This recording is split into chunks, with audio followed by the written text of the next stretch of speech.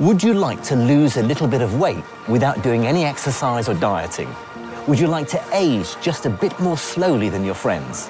Well, you might be surprised to hear the laws of physics can help. The key to unlocking these everyday questions is gravity. It sculpts the universe. It warps space and time. It's a fundamental force of nature. But gravity's strange powers, discovered by Albert Einstein, also affect our daily lives in the most unexpected ways. In this film, we'll be using cutting-edge scientific techniques to investigate how gravity changes your weight. It's gone up. your height. I really have shrunk. And even your posture.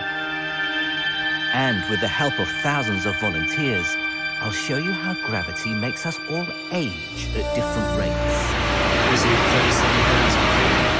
Throughout the day, I've just been logging onto the phone, logging onto the app.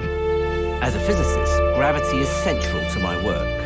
Oh, wow. And in exploring it, I'll be challenged on how I understand this most mysterious force. Wow. Okay, I need to go and write this one down.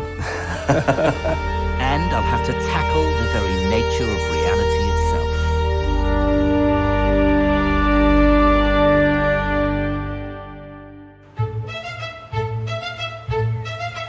Gravity.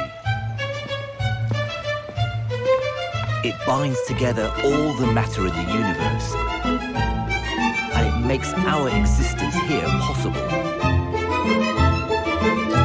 But in the end, it all boils down to one simple question. What happens if I drop an object? Gravity's many mysteries are all contained in this single action, how an object falls. Here's the first puzzle. Why does a hammer fall faster than a feather? You might think it's because the hammer is heavier. But that's not the real reason. The answer is air resistance. It's not the weight of the objects that matters, it's their shape.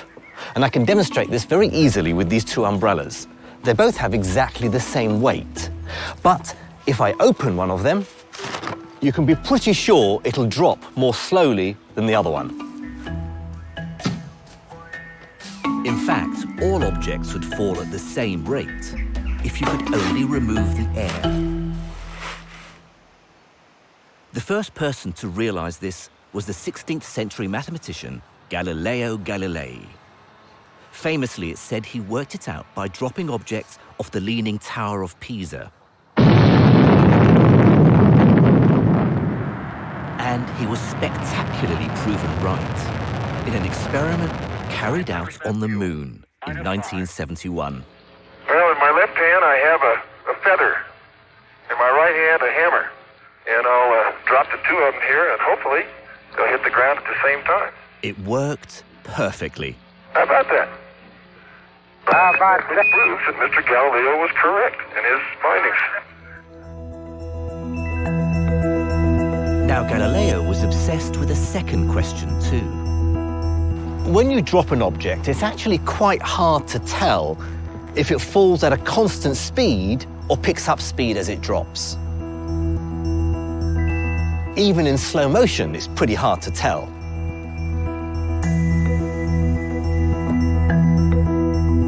But Galileo realized this.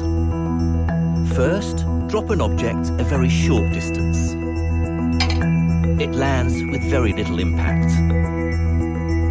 But of course, drop it from higher up.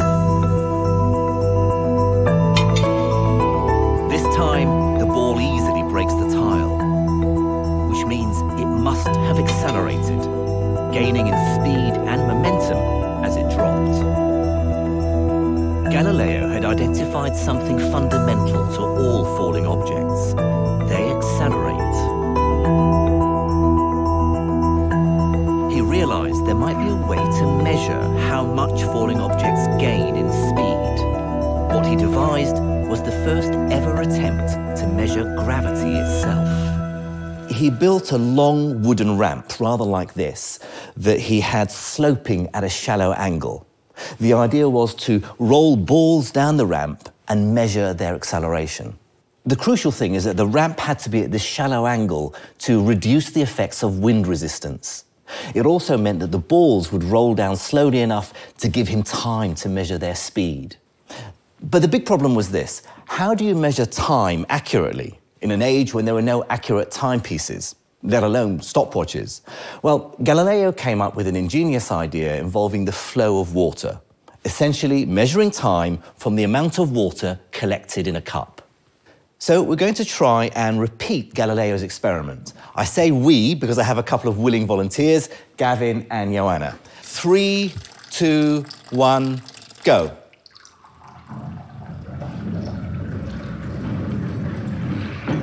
And stop. Okay, there's one. Now, if you come down a quarter of the way down the ramp, go.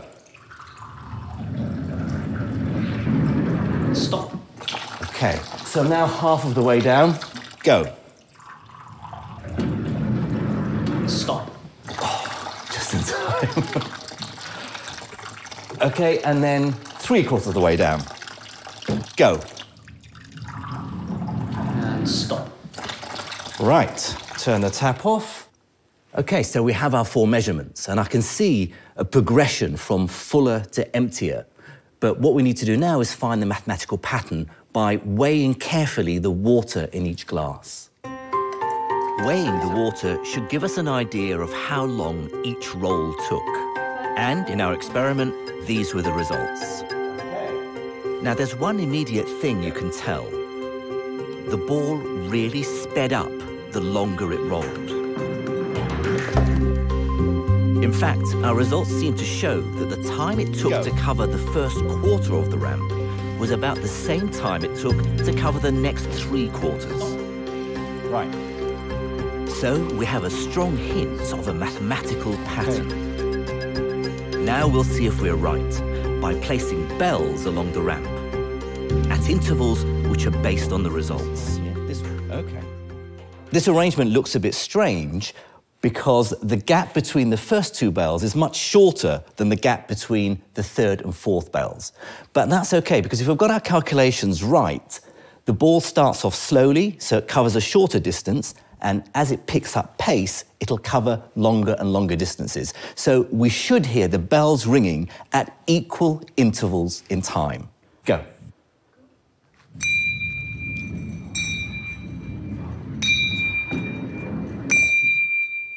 Beautiful. So, what does this all mean? What's the mathematical formula? Well, this is something that Galileo worked out. Let's say from the start, the ball covers a distance of one meter in the first second. After two seconds, it'll have covered four meters. After three seconds, nine meters. After four seconds, 16 meters, and so on. If you recognize this progression, you'll see that distance goes like the square of time. Galileo had found the rate at which gravity speeds up objects. And he'd found another fundamental principle. You can measure the strength of gravity by how much it causes falling objects to accelerate. Detecting gravity has become exceptionally sophisticated these days, but still uses exactly the same principle. This is Herstmonceux Castle in Sussex, and in its grounds lies the Space Geodesy facility. Here, Vicky uses an astonishingly sensitive instrument to detect the exact strength of gravity on this one spot. Okay, so Vicky, tell me about this incredible gravitymeter that you work with. Okay, so this is the dropping chamber in a stripped down version. So essentially what happens is you've got a cart that gets raised to the top and then the cart accelerates away from a mass in the middle. And so this section here lifts off and as it drops, it drops under free fall. So this component in the middle, as it drops, is basically just Newton's apple falling to the ground. Yes, So this is a stripped down version, but, but that's the real thing. this is the real thing. How does it actually work? In here it's a vacuum, So there's no wind resistance so as there's it no wind resistance. right? Inside, a laser is used to measure exactly how fast the mass is accelerating. This is the 21st century version of Galileo's ramp and the balls rolling down. So can we get it going? Of course, if you'd just like to press the button on the laptop. This one? Yep. Okay. So it's now communicating with it. Oh, here we go. There we go. So it waits five seconds, then takes a measurement of gravity. And again. repeats. Oh, and, and, and I've, you can see the, uh, all the, the, the results appearing now. Yep. Each of those green dots is a measurement of gravity with the actual number that it's getting for each one. The unit Vicky uses has a familiar ring. I see that the, the, the number up at the top here. So you've got this unit, microgal. Yes, a gal is essentially one centimetre per second squared. The gal was named after Galileo. So we've just taken the measurement of gravity here today, and it's this highly accurate number, 981124007 microgals. The reading means that the Earth's gravity speeds up a falling object by around 9.81 meters per second for every second it drops. Vicky tells me something intriguing. She takes a reading here every week, and she's found that the strength of gravity changes by tiny amounts over time. Heavy rainfall, for example, can cause gravity to increase slightly. Presumably, if gravity is changing here in one spot, it, it'll have different values all around the world. And so you can have a gravity map of the entire planet. That's right, yeah. So, what's the reason for these strange fluctuations? That's what I want to investigate next. So, gravity changes as we move across the surface of the Earth. Well, this lies at the heart of a challenge that I've set two young volunteers. I've given them a task to try and find the place in Britain where gravity is at its weakest, so where objects would weigh the least. And I've given them just three days to try and find it. The volunteers are Estrella Sendra, a PhD student, I've been living in London for five, six years, and I'm originally from Seville in Spain. I'm very interested in taking part in this project because I would really like to know more about how this world works. and Poppy Begum, a journalist who lives in London. I did my degree in biomedical science, um, and I did biology and chemistry for my A levels, but I haven't done any physics since I left school. I'm fascinated to find out more about gravity, and I actually enjoy a puzzle. I like a challenge. Now, the team can't just weigh themselves to see changes in gravity. Body weight fluctuates naturally by a, couple of kilos over the course of a day, whereas changes due to gravity as they travel around the country are going to be tiny in comparison, a matter of a few grams. So they're going to have to use sophisticated scientific methods if they want to measure gravity accurately. And that's why the volunteers will be joined by three specialists in gravity science. PhD student Sownak Bose. He'll be in charge of some very sensitive measuring apparatus from the National Physical Laboratory. Sean Hughes, a geologist, who'll be using a portable gravity meter. And Andrew Pontzen, a cosmologist at University College London, will help interpret the results. We've taken a collective weight for the team before they set off. It's 380 kilograms. So, can they find the place in Britain where that'll decrease? They're setting out in Snowdonia National Park in North Wales. The railway climbs from here to the thousand metre summit of Snowdon. Sean takes his first gravity reading. The inside is a mass on a beam, and you turn this counter, this dial, until you get the beam central. By counting the number of turns of the dial, Sean can calculate the downward pull of gravity acting on the mass inside the machine. Sownak has a simpler method. So inside the box is a two kilogram mass, and it's supposed to be sort of as perfectly two kilograms as it's possible to get. All right, and place it here. Oh, It's just coming under, isn't it? 1998.2 grams. So it was two kilos in the laboratory, but now here it's a bit less. It's the first puzzle. Why does a two kilo mass tip the scales at just under two kilos?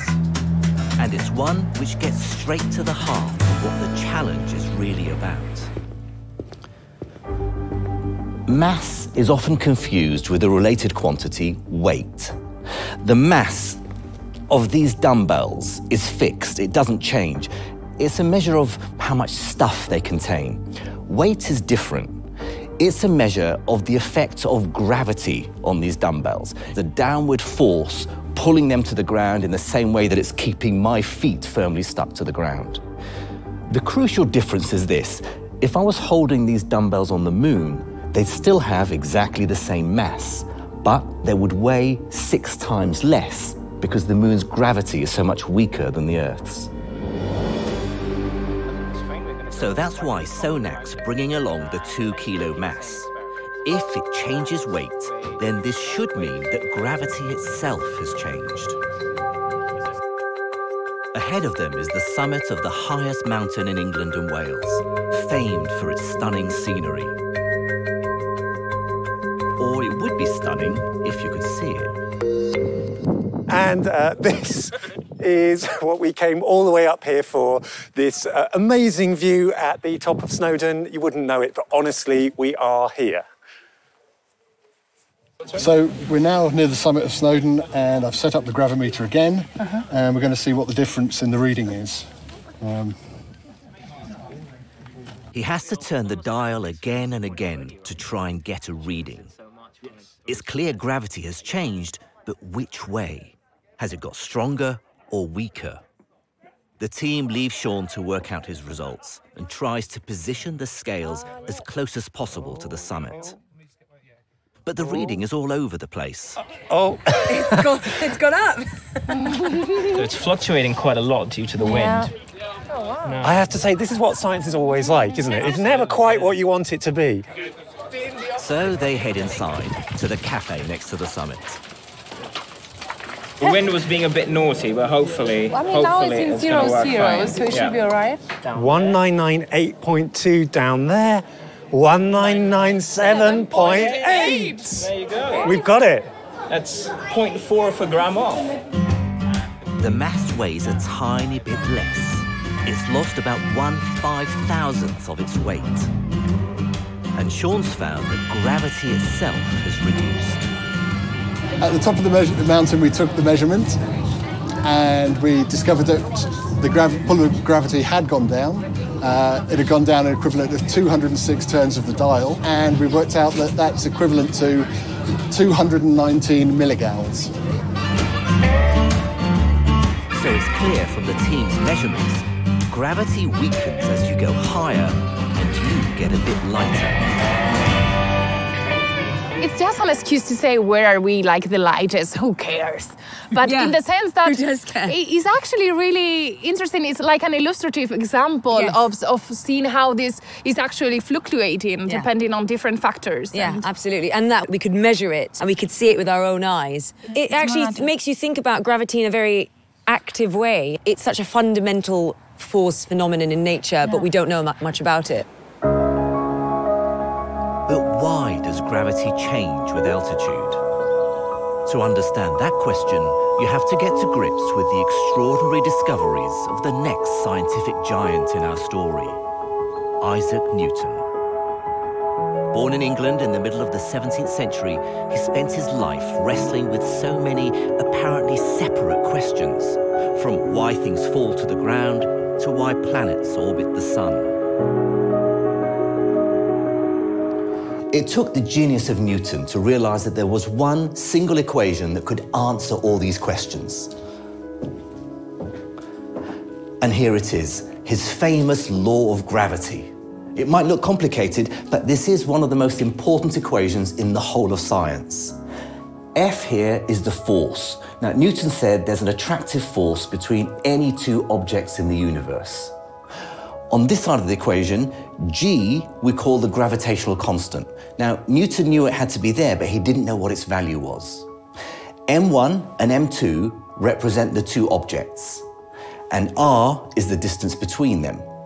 Now, the equation tells us that the more massive the objects are, the bigger M1 and M2, the greater the attractive force.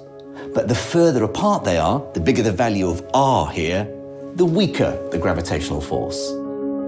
With Newton, what was once mysterious now became clear. Newton's equation describes why an object falls to the ground, including his famous apple. But its true genius is that it applies to any object, anywhere in the universe. So it's a very simple and elegant way of describing some of the seemingly most complicated phenomena in the cosmos. His law of gravitation can still be used today to explain how orbits work, to predict when a comet will return, to describe why galaxies spin, or to slingshot spacecraft around planets. Newton tells us to look for the underlying simplicity in natural phenomena. For instance, how the moon orbits the Earth. If I let go of this apple, it'll fall straight down because of the pull of Earth's gravity. But if I throw it, to begin with, it travels in a horizontal direction, that's the direction of travel, but Earth's gravity is still pulling it downwards, so it ends up following a curved path.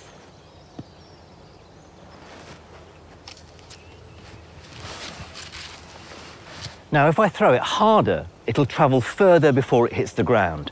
And in principle, if I could throw it hard enough, I could put it into orbit. And that's exactly what's happening with the moon in orbit around the Earth. It's a combination of wanting to travel in a straight line, but also being pulled down by the Earth's gravity. So it ends up constantly falling around the Earth and constantly missing.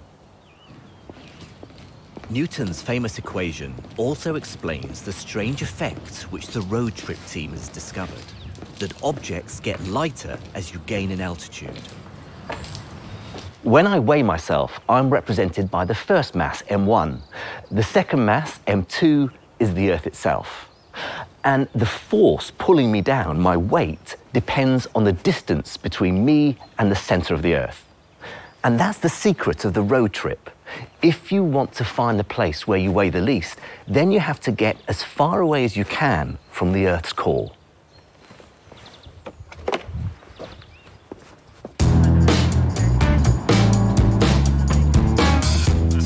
The afternoon of day one, and the road trip team have to work out where to go next.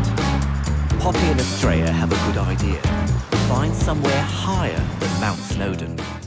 From the measurements that we that you guys did at Mount Snowdon, altitude clearly plays an important part in gravity. So with that in mind, we've got to go to the highest point in the UK, which is Ben Nevis. Mm-hmm. Okay, but there's just one thing that we haven't shown you so far. We actually brought along an extra experiment. So can we please show you this first Yes. before you make the final Yes. decision? Yes. Uh, Sownak actually has the other part of this experiment. Uh, we always carry around. Some power tools, as physicists always do. So let's start off nice and gentle. Okay, and then try and pick up some pace. Pizza. And You got some pizza there. point proven. The point is that when something is spinning, it kind of gets flung outwards. Yeah. Um, and you can actually use that to make a nice flat piece of pizza. Um, but this also applies to the Earth. The Earth isn't perfectly round. It's what's known as an oblate spheroid. It bulges at the equator where the spin is greatest. We've kind of got two competing effects now. Um, we're trying to get away from the, the center, the actual core of the Earth, the point at the very center of this ball. But now we can do it in two ways. We can either kind of go up something tall, or we can just go down towards the equator. This is what we find when we're doing gravity surveys, is that as you move south, there tends to be an effect from latitude, which is often usually larger than the effect from altitude. So the closer to the equator you go, the further you get from the Earth's core, and the lighter you get. So, guys, the sun's setting just behind me here. This is north. Mm-hmm. From the conversations we've just had, it sounds like we've got to go that way down south. Is that right? Yep. Yep. Okay. Let's go. Let's go. The team is starting to uncover the reasons why gravity changes as you cross the surface of the Earth. Our planet is defined and shaped by the complicated forces which act upon it. And detecting tiny fluctuations in its gravity field can give us important clues. It can help us understand how our world is changing. The Space Geodesy Facility at Herstmonceux is one small part in an enormous global network which uses satellites to detect the tiniest of changes in the Earth's gravity field. Tell me what exactly your job is here. What we're doing with this telescope is measuring very accurately the distances of satellites uh, from here. So we're using very short laser pulses, which we direct towards the satellite. On the satellite, there are reflecting cubes, which returns some of that light to us. And we measure how long it takes the light to go to the satellite and back. And how far away is the satellite the one we're tracking now is one of the Galileo satellite, which is about 20,000 kilometers. 20,000 kilometers Yes. away. Yes. Okay, so we've got it aimed at the Galileo satellite, and you're going to turn the laser on now. Yes. Oh, wow. And that laser beam that's being fired up towards Yeah. the satellite, Yeah. at the time it'll take to get there and come back again, it's a fraction of a second, isn't it? It is. It's about 150 thousandths of a second, 150 milliseconds. And we're sending one, about 1,000 of those per second. This strange looking object is based on satellite readings. It's a highly exaggerated representation of how Earth's gravity field varies over time. Fluctuations like these can give us important insights into climate change. Ice caps melting, sea levels rising, changes in groundwater.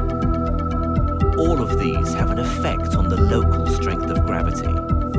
So, something as important as climate change, in order to understand it and do something about it, we need to know the distribution of the gravitational field of the Earth very accurately. Absolutely, yes. And it's a global measure that we need.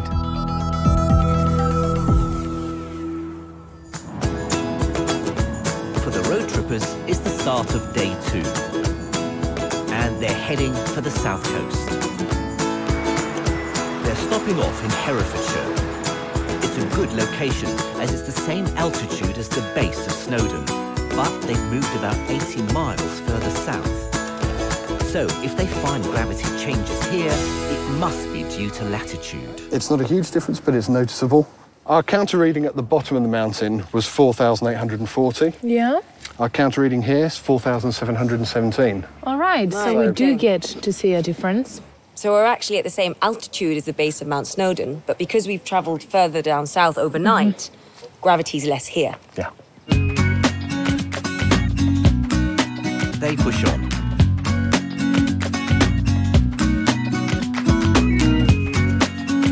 And by sunset, they reach Sidmouth on the south coast. Sean takes the second gravity reading of the day. And Poppy improvises a map. Well, sort of a map. Can we write not to scale at the top there? so I drew this map. Scotland's a bit squashed. Wales is quite high up, and Cornwall is is there. But you get the idea. So Sean, we we've been travelling with you. You've done quite a few gravity meter readings. Can you can you plot them on this not to scale badly drawn map, please? Sure. So if you remember, we started off in Mount Snowdon, about here, and that was the zero measurement for our survey. And then we've come all the way down here to the south coast. The difference from the base of Snowdon is minus 212 milligals. Wow. So the difference between going measuring gravity at the base of the mountain and the top of the mountain is about the same as here at this latitude and down here at this latitude. They're quite clearly at sea level, yet gravity here is roughly the same as it is at the top of Snowdon. But where next? We are here if we want to find out where we are the lightest, why don't we travel all the way to the most southerly point in the UK, which is here? But altitude can also help us. So why not find a place in the country that is both low in latitude but also is high in altitude in um, terms of height above sea level? Because that will get us somewhere that is really far away from the core of the Earth whilst staying within the country.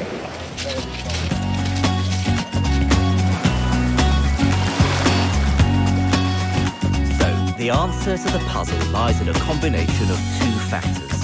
How much further south should they go, and how much higher? At the end of day two, Sean's results show that the team weighs about 80 grams lighter in total than back at the base of Snowdon.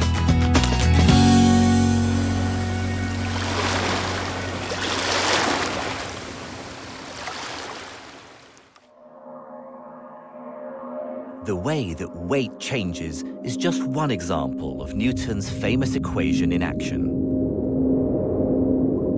But Newton had left his masterpiece incomplete. He didn't know the value of g, the gravitational constant, which sets the size of the force. To harness the full power of the equation, you need to know g. And the vital clue came with an incredible experiment conducted in London at the end of the 18th century. It was an attempt to work out the mass of the Earth itself. And it was carried out by an eccentric, extravagantly rich aristocrat, Henry Cavendish. Cavendish was a chronically shy, deeply solitary man living in total isolation in his house in Clapham. The story goes that one day he accidentally bumped into a female servant on his staircase. He was so traumatized by this event that he had a new staircase built just for him so this horrible incident could never happen again. Cavendish had inherited vast fortunes and was able to dedicate his life to devising pioneering experiments, including one particularly extraordinary piece of equipment. he set up something a bit like this. It's called a torsion balance. It involves four lead spheres, two large heavy ones which are held fixed in place, and suspended by a very thin wire is a wooden rod, six feet long, with two smaller balls on either end. Now, the crux of the experiment is the relationship between the large ball and the small ball. Now, of course, there's a gravitational pull downwards on both of the balls due to the Earth's gravity. But Newton also tells us that there should be a very weak gravitational pull between the balls. And this is effectively what Cavendish was trying to measure. Any slight movement of the small ball towards the large one should cause a twist in the torsion wire. And that's what Cavendish was trying to detect. Of course, this is all much easier said than done. The experiment was incredibly sensitive. The tiniest of vibrations, the slightest breeze, changes in temperature could all influence the measurements. So Cavendish had to isolate the apparatus inside a box and the box within a shed. He even realized that his mere presence next to the apparatus could influence things, so he had to remove himself outside the shed. What he then did was sit outside the shed and through a small hole in the shed wall, look through a telescope to detect the tiniest of twists in the wire. It was an incredibly difficult process, but after many months, he finally felt confident enough that he had a reliable result.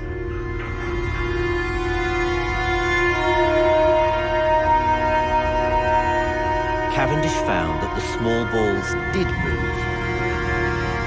A tiny four millimeters. He calculated his results by comparing the density of the balls with the density of water. In the end, the result of Cavendish's experiment and subsequent calculations was that the density of the Earth was about five and a half times that of water. Or, put another way, the mass of the Earth was 5.9 trillion trillion kilograms. What's most remarkable is that Cavendish got this number right to within an accuracy of 1%. With Cavendish's astonishing result, scientists were able to work out G. Then the equation could be used to determine the mass of any celestial body in orbit around another. So astronomers were able to calculate the mass of the Sun, and the planets, and the Moon, and eventually even distant galaxies. And of course, back on Earth, we never escape gravity. Over the course of the day, it actually squeezes your spine, an effect you can see for yourself if you use a measuring rod. Okay, so it's half past seven in the morning. I've just got up and I'm going to see how tall I am before gravity drags me down.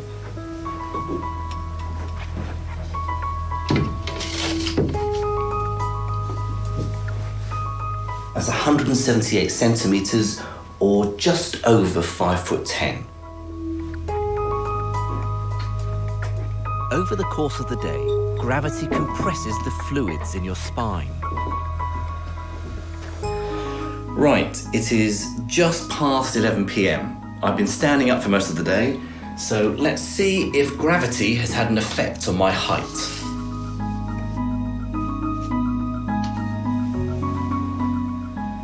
That is 176 centimetres, so I really have shrunk by just over half an inch over the course of today.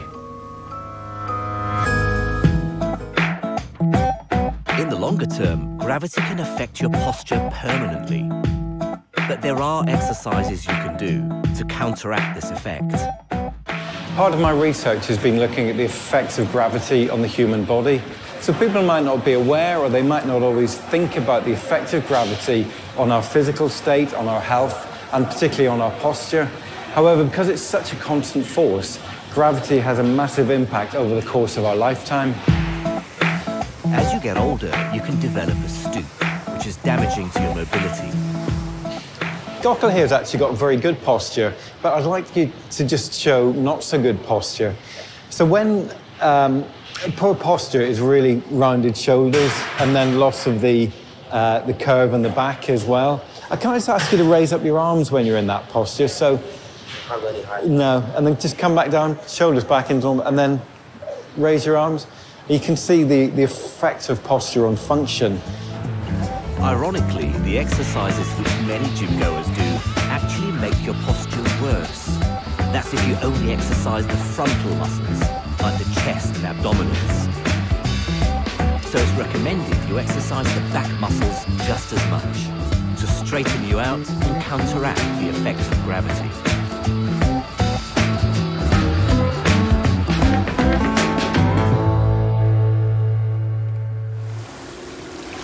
Meanwhile, it's the end of day two for the road trip, and they've reached Sidmouth on the south coast, looking for the place in Britain where they'll weigh the least.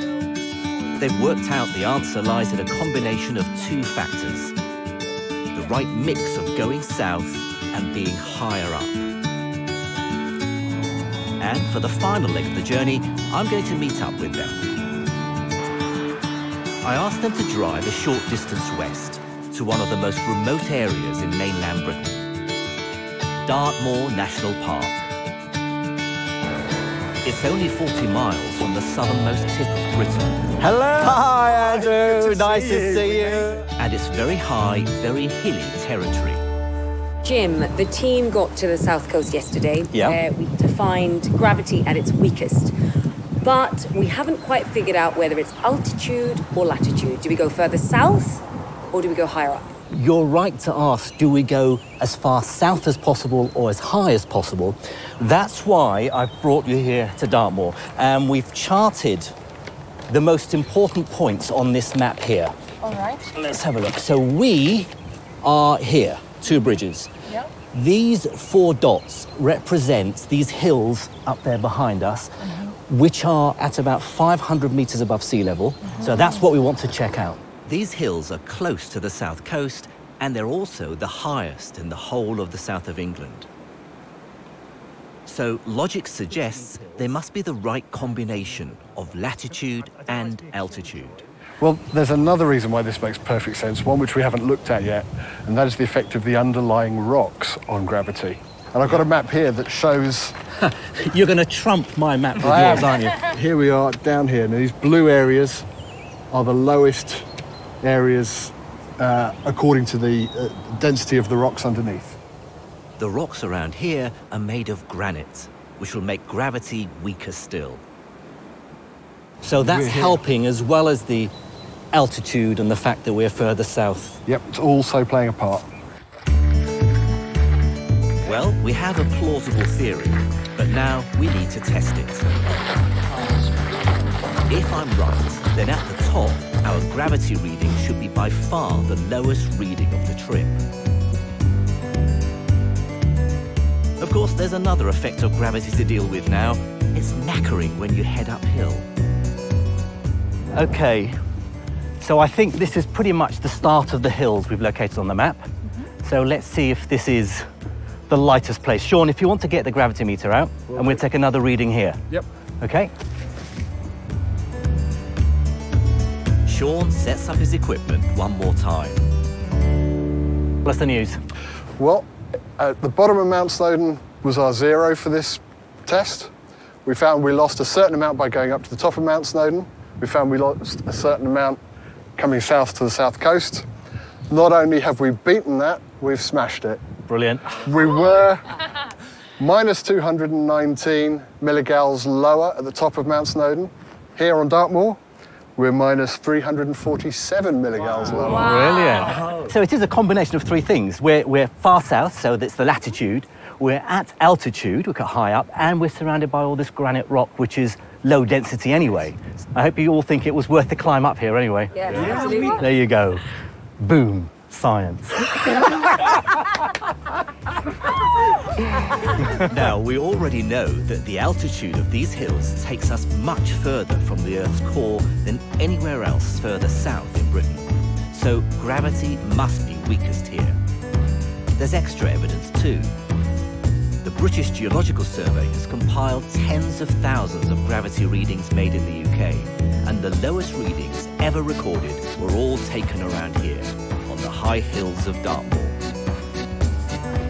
What do we do to celebrate? We weigh ourselves, of course. The FX weight that much. It's all them Nutella pancakes for breakfast. 74, 75. I need to lose weight. I can tell you that you should weigh something like 20 grams less than you did at the base of Mount Snowdon. Guys, I'm guessing something like 25 to 30 grams less. So if you want to weigh as little as possible, this is the place in Britain to come. But in any case, it's such a tiny amount that it, it, it's going to be wiped out entirely by whatever it was you had for breakfast this morning.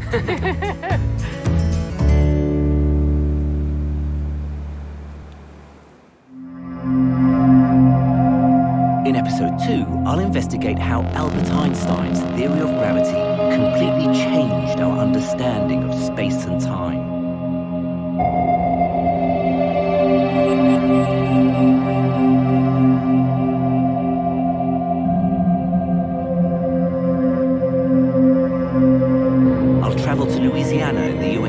To listen to the sound of black holes colliding. biggest source of energy in the universe, one of the biggest events you'd ever measure, and we just barely saw it. And with the help of thousands of volunteers and a smartphone app, I'll explore how the science of gravity can help you age slower.